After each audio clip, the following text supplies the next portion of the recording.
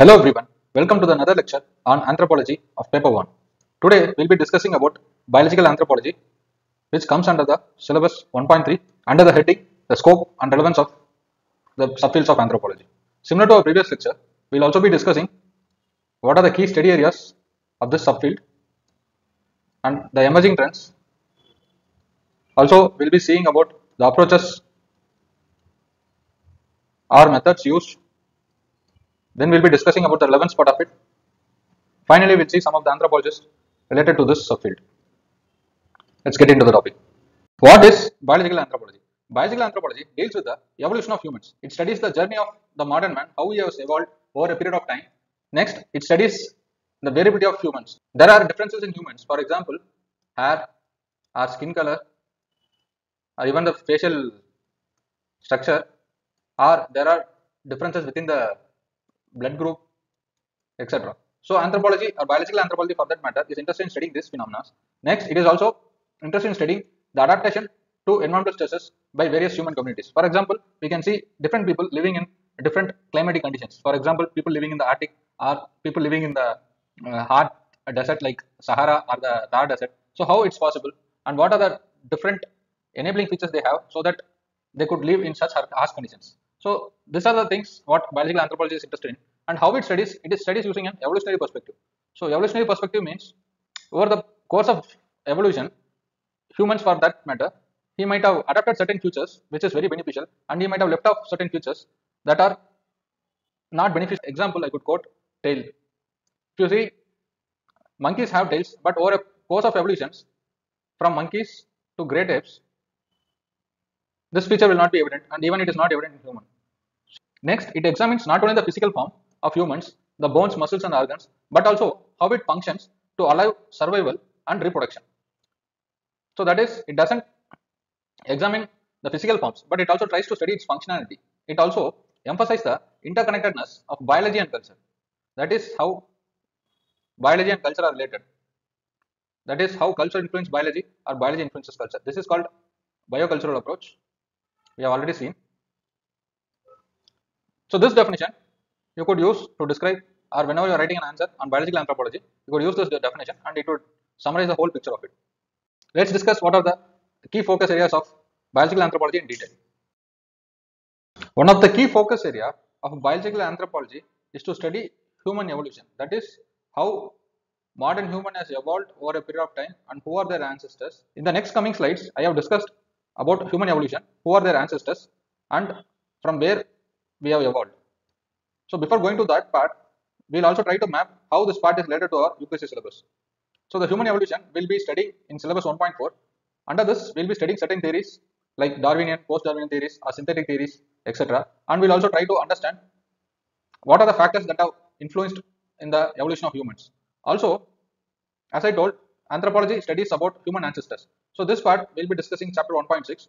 The immediate ancestors of humans are like Homo sapiens, the Rhodesian man, the Neanderthal man, Australopithecines. So all these things we will be discussing in detail when we are dealing with the chapter 1.6. To understand human evolution more precisely, it's important to have some basic knowledge on the taxonomic ranking system or classification system. So what does taxonomy means? It means classification of living organisms that have some similar characteristics.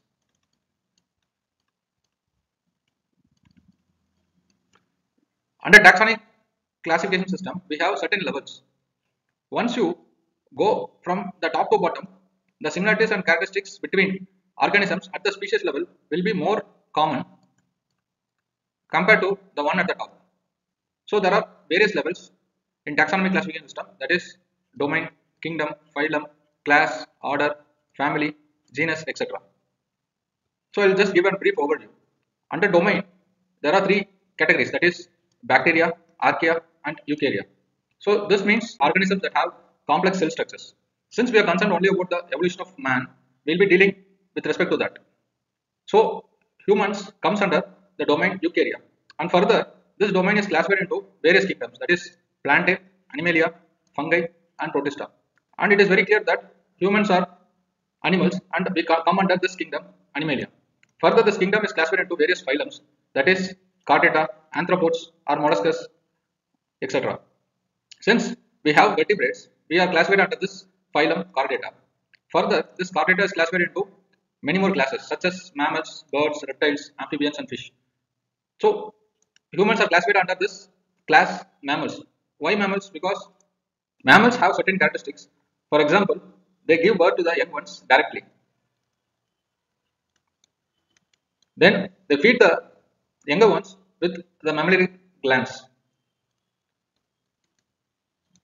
So because of this reasons, we are classified under mammals and further mammals are classified into various orders such as primates, carnivora or rodentia. Primates, this includes monkeys, apes and humans.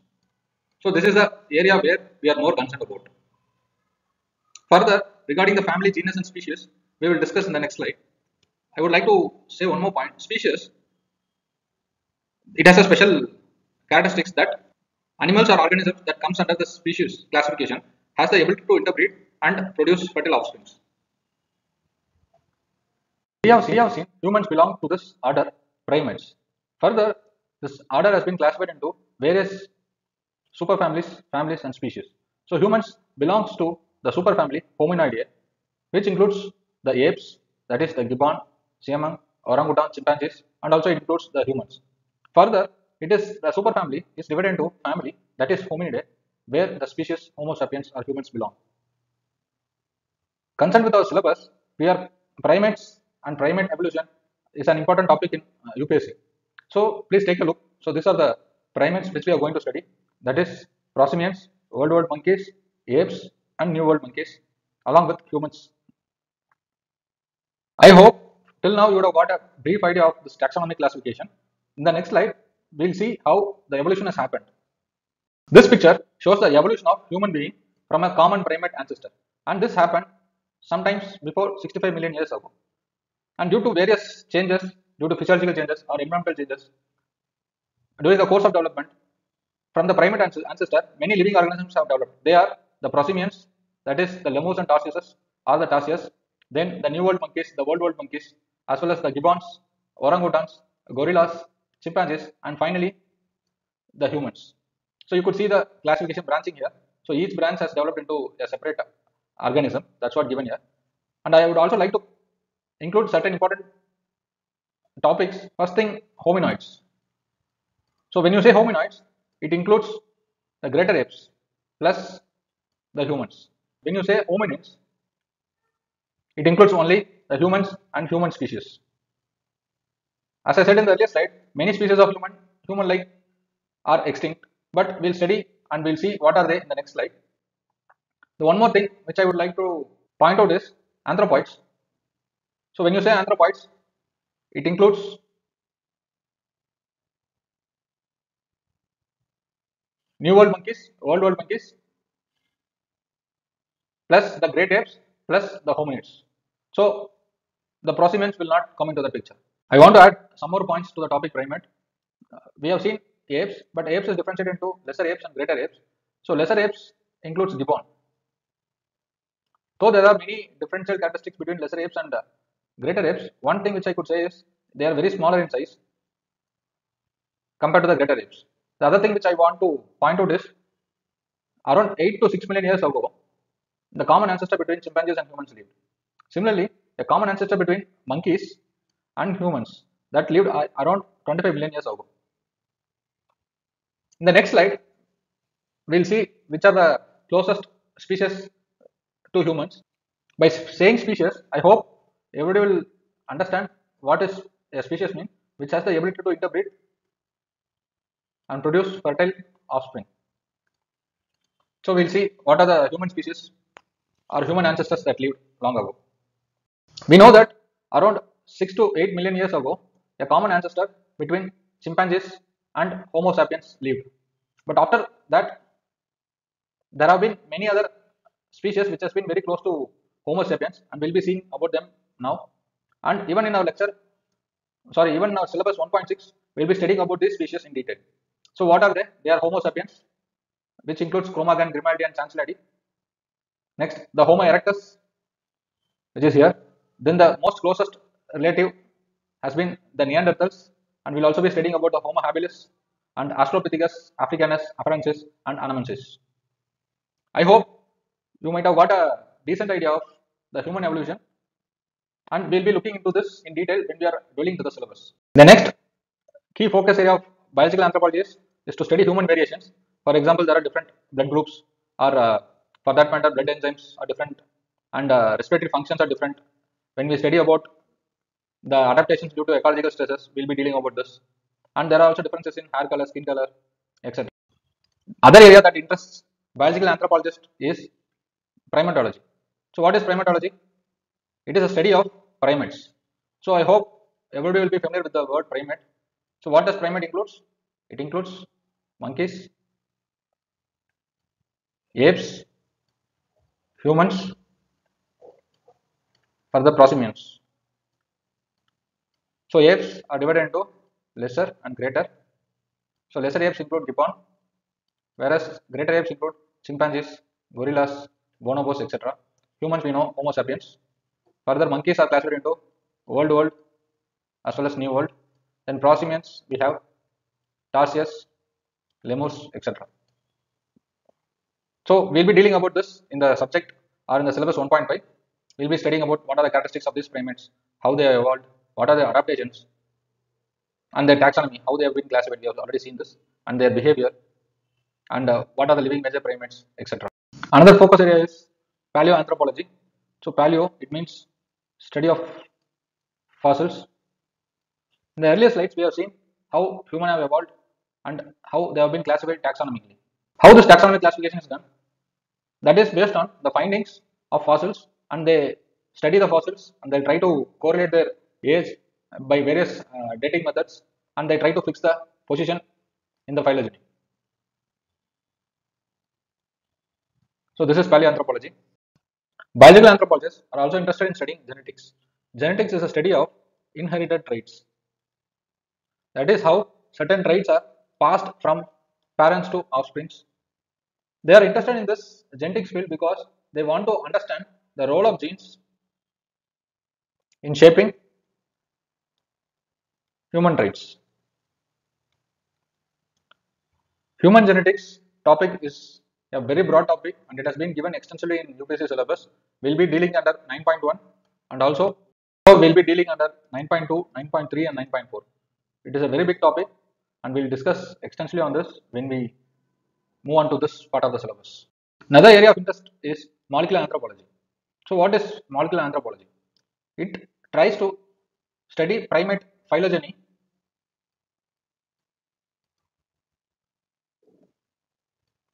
plus human evolution through the genetic information.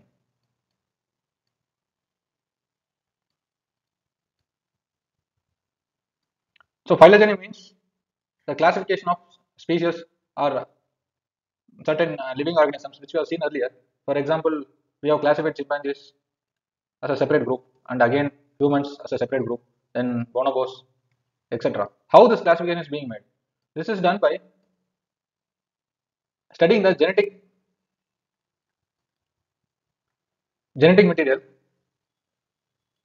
or the DNA sequence using various advanced technologies which we'll see in detail when we are discussing the genetics chapter. So this is in a nutshell molecular anthropology. Another sub-branch of biological anthropology is forensic anthropology.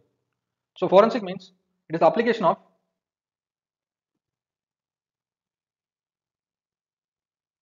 scientific methods and techniques to investigate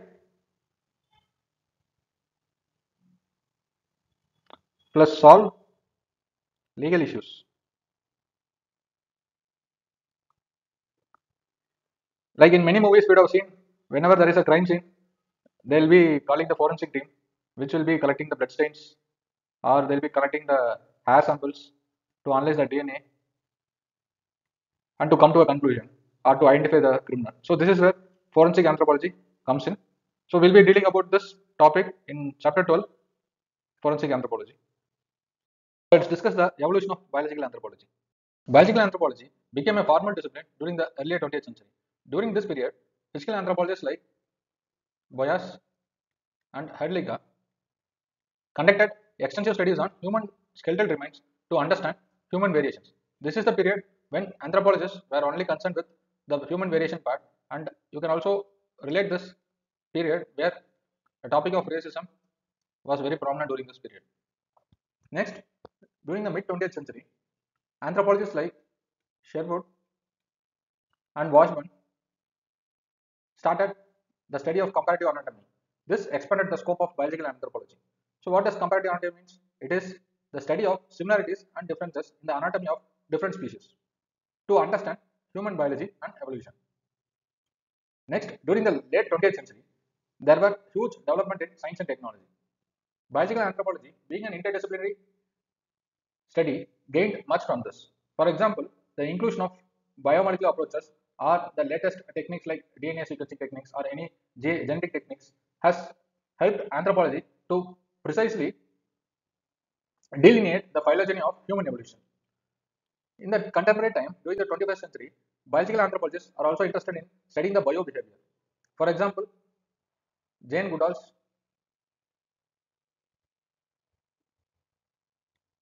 study on chimpanzees to understand the behavioral aspects of primate social system, which will help us to understand human behavior too. Next, approaches and methods used in biological anthropology. Comparative anatomy, we have seen earlier, and biocultural approach, that is studying biology and cultural perspective together.